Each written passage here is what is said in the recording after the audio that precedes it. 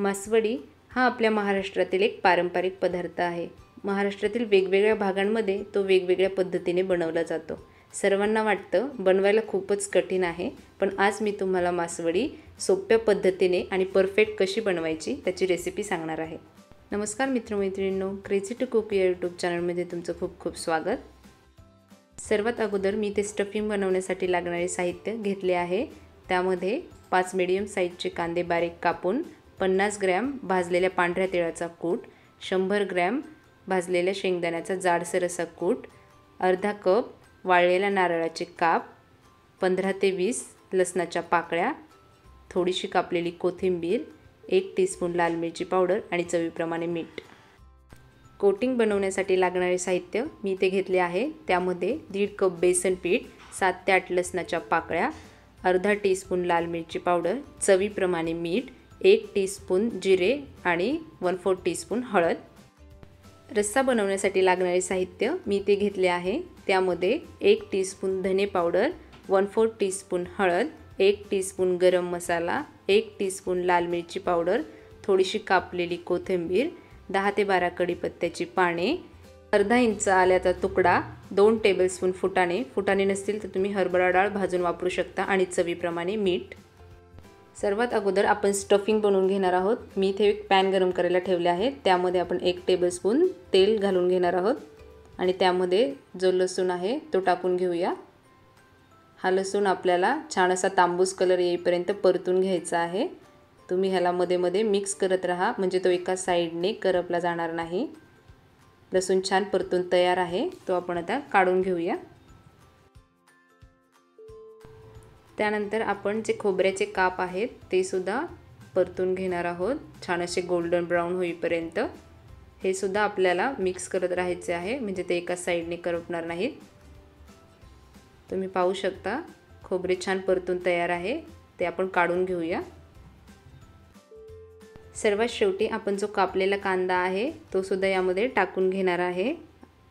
हा कांदासुद्धा आपल्याला छान असा गोल्डन ब्राऊन होईपर्यंत परतून घ्यायचा आहे. तुम्हाला वाटत असेल तर तुम्ही मध्ये एखादा टीस्पून तेल टाकू शकता.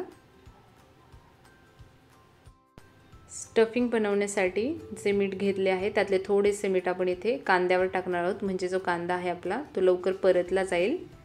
तुम्ही पाहू शकता कांद्याला छान असा गोल्डन ब्राऊन कलर आलेला आहे. मी आता गॅस बंद करून हा थोडा वेळ थंड व्हायला ठेवणार आहे. आणि नंतर आपण त्याचे स्टफिंग बनवूया.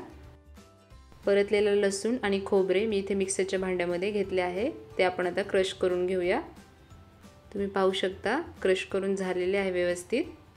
परतलेल्या कांद्यामधला मी पाचवा भाग बाजूला काढून ठेवणार आहे जो की आपण रस्सा बनवण्यासाठी वापरणार आहोत. म्हणजे आपल्याला पुन्हा कांदा परतायला नको.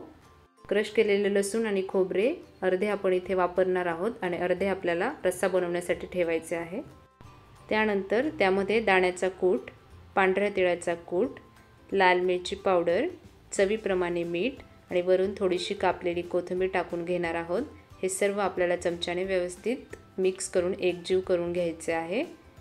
तुम्ही पाहू शकता आपले स्टफिंग तयार झालेले आहे मासवडी बनवण्यासाठी.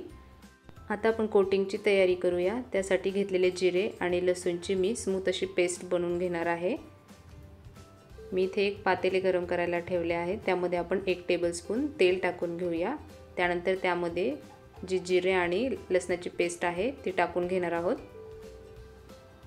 हे आपल्याला परतून घ्यायचे आहे अर्ध्या मिनटासाठी. नंतर त्यामध्ये आपण लाल मिरची पावडर आणि हळद टाकणार आहोत. हे सुद्धा आपल्याला पंधरा ते वीस सेकंडसाठी परतून घ्यायचे आहे. त्यानंतर आपण त्यामध्ये दोन कप पाणी टाकणार आहोत. सर्वात शेवटी आपण चवीप्रमाणे मीठ टाकून घेऊया. ह्या पाण्याला आपल्याला एक उकळी काढून घ्यायची आहे. तुम्ही पाहू शकता पाण्याला छान उकळी आलेली आहे. त्यामध्ये आपण बेसन पीठ थोडे थोडे करून टाकून घेणार आहोत. आपल्याला हे असे ढवळत राहायचे आहे कंटिन्यू म्हणजे त्याच्या गाठी होणार नाहीत. बेसन पीठ तुम्ही एकदम टाकले तर त्याच्या गाठी होतील आणि त्या शिजल्या तर त्या फोडणी कठीण होईल. म्हणून आपल्याला थोडे थोडे करूनच ॲड करायचे आहे. आणि सतत असे मिक्स करत राहायचे आहे. आणि जर तुम्ही माझ्या चॅनलला अजून सबस्क्राईब केलं नसेल तर अशाच नवनवीन रेसिपी पाहण्यासाठी सबस्क्राईब करा आणि शेजारील बेल आयकॉनवर क्लिक करून ऑल हा ऑप्शन सिलेक्ट करायला विसरू नका.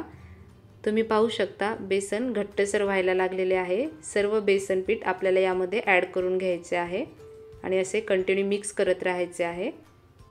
यावर आता झाकण ठेवून सात ते आठ मिनटासाठी मीडियम फ्लेमवर आपल्याला बेसन शिजवून घ्यायचे आहे. सात ते आठ मिनिट झालेले आहे. आपण एकदा चेक करून घेऊया बेसन शिजले आहे की नाही. तुम्ही पाहू शकता बेसनचा छान असा घट्टसर गोळा तयार झालेला आहे. आपण आता फ्लेम लो करणार आहोत. आपल्याला गॅस बंद करायचा नाही आहे त्यावर आता आपण झाकण ठेवून देऊया. मी इथे एक पोलपटवर ओला रुमाल टाकला आहे. त्यावर पुन्हा थोडेसे पाणी टाकणार आहे. म्हणजे जेव्हा आपण मासवडी बनवू ती त्याला चिटकणार नाही. शिजलेल्या बेसनचा आपण एक मोठा असा गोळा घेणार आहोत.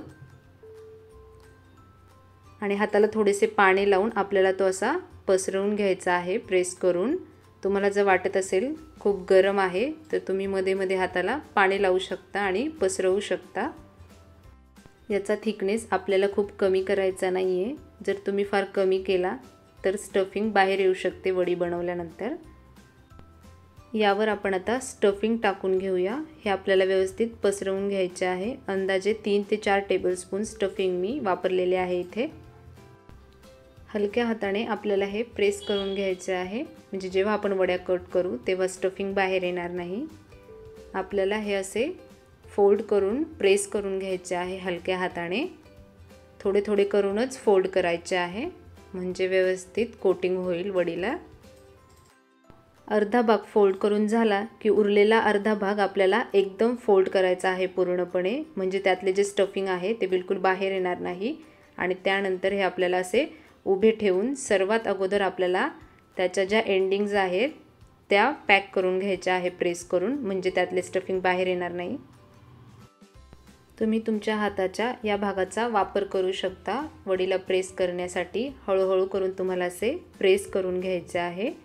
म्हणजे जेव्हा तुम्ही वडी कट कराल त्याला परफेक्ट त्रिकोणी आकार येईल. आपण त्यावरील आता रुमाल काढून घेऊया. रुमालला पाणी लावल्यामुळे वडी बिलकुल चिटकलेली नाही आहे तुम्ही पाहू शकता. आणि कडा आपण अगोदर पॅक केल्यामुळे स्टफिंग अजिबात बाहेर आलेलं नाही आहे आपण ती आता ट्रेमध्ये काढून घेऊया अशी हातावर घेऊन.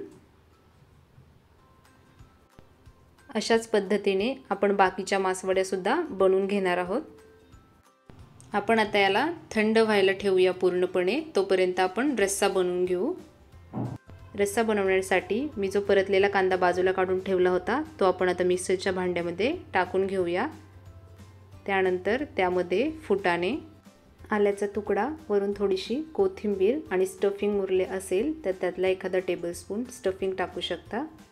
हे अगोदर मी पाणी न घालता वाटणार आहे आणि नंतर थोडेसे पाणी घालून वाटणार आहे म्हणजे स्मूथ पेस्ट होईल. मी इथे एक पॅन गरम करायला ठेवले आहे त्यामध्ये आपण दोन टेबलस्पून तेल टाकून घेऊया. त्यानंतर घेतलेले सर्व मसाले आपण यामध्ये टाकून घेणार आहोत. मसाले आपल्याला अर्ध्या मिनटासाठी परतून घ्यायचे आहेत. मसाले चांगले परतले की त्यामध्ये आपण थोडीशी कापलेली कोथिंबीर आणि नंतर कढीपत्त्याची पाने टाकणार आहोत. यामुळे मसाल्याचे तापमान कमी होते आणि ते जळत नाहीत त्यानंतर आपण ठेवलेले लसूण खोबरे आहे वाटलेले ते टाकणार आहोत. हे सर्व आपल्याला अर्ध्या मिनटासाठी चांगले परतून घ्यायचे आहे. त्यानंतर आपण जे फुटाणे आणि कांद्याचे वाटण बनवलेले आहे ते सुद्धा यामध्ये टाकून घेणार आहोत. हे आपल्याला तीन ते चार मिनटासाठी चांगले परतून घ्यायचे आहे तेल सोडेपर्यंत. तुम्ही पाहू शकता मसाले चांगले तेल सोडायला लागलेले आहे. त्यामध्ये आपण आता दोन कप पाणी टाकून घेऊया.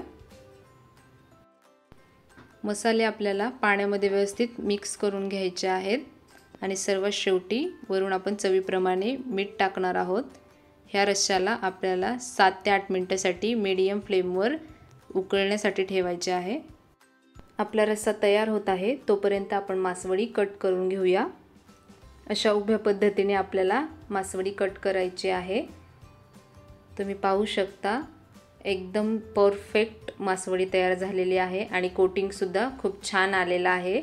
स्टफिंग अजिबात बाहेर आलेलं नाही आहे एकदम जबरदस्त दिसत आहे. सात ते आठ मिनिट झालेले आहे. रश्शाला छान उकळी आलेली आहे. एकदम झणझणीत आणि चमचमीत दिसत आहे रस्सा. स्मेलसुद्धा खूप छान येत आहे. रस्सा आणि मासवडी एकदम परफेक्ट कॉम्बिनेशन दिसत आहे. रश्शाला खूप छान तरी आलेली आहे. मासवडी रश्श्यामध्ये टाकून ज्वारी किंवा बाजरीच्या भाकरीसोबत खूप चवदार लागते. तर आजची रेसिपी तुम्हाला कशी वाटली हे कमेंट बॉक्समध्ये मला नक्की कळवा आणि तुम्हीसुद्धा करून पहा. जर तुम्ही माझ्या चॅनलला अजून सबस्क्राईब केलं नसेल तर सबस्क्राईब करा आणि शेजारील बेल आयकॉनवर क्लिक करून ऑल हा ऑप्शन सिलेक्ट करायला विसरू नका. धन्यवाद.